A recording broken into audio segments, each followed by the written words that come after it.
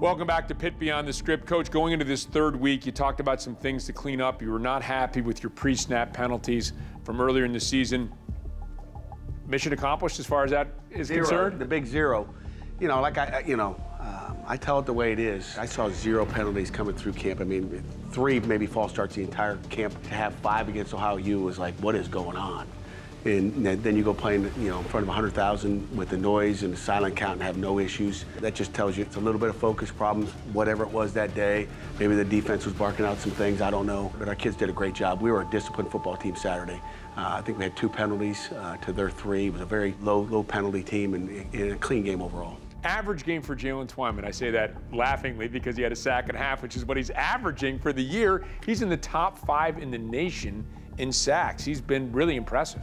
Yeah, Jaylen's been a you know been a you know I don't want to say surprise, but a pleasant uh, surprise, I guess. He's made major improvements from a year ago. He's explosive, and I bet you if you walk down to the D-line meeting room right now, he's in there watching tape and trying to figure things out. He's a film rat. He cares about football. He's going to be a leader of this football team one day. He'll be a captain because of how much he cares and how hard he works.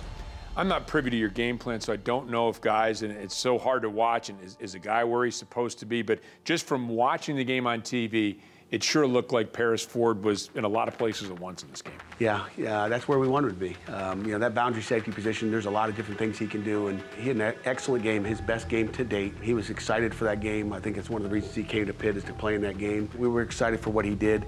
He had a great week of focus on what he needed to do, and I think that played a part in why he had so much success on Saturday.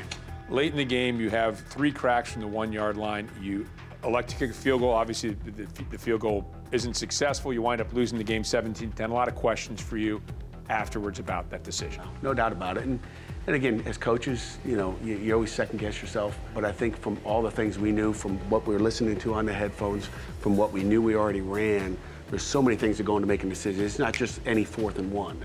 It's the fourth and one with everything that's surrounding it, I think is the important thing. Comes down to personnel, comes down to what calls have we already used that we don't have at our arsenal anymore because if you repeat a play, it's probably not a good idea.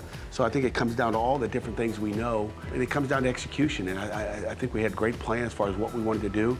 There's only so many plays in those situations you can have in or execute properly, and we didn't execute the ones we needed, even that we had in properly. Not exactly easing into the schedule this year. You got a Virginia team in the opener who's in the top 25. Ohio picked to win the MAC. Penn State, we know, is a top 15 team in the country.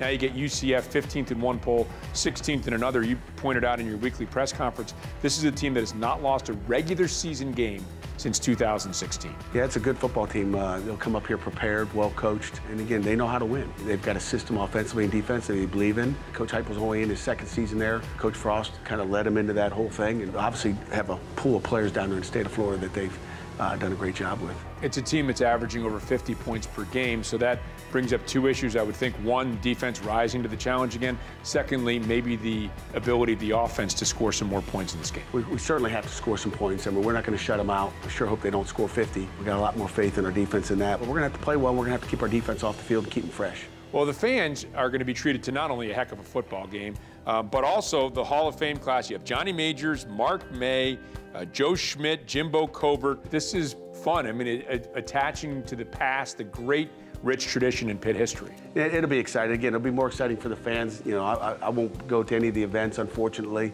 Uh, it would be great to be around the likes of Johnny Majors again, and but I think it's a it's a great evening. I think Friday evening is the uh, Hall of Fame uh, dinner, and um, you know, we'll be busy working.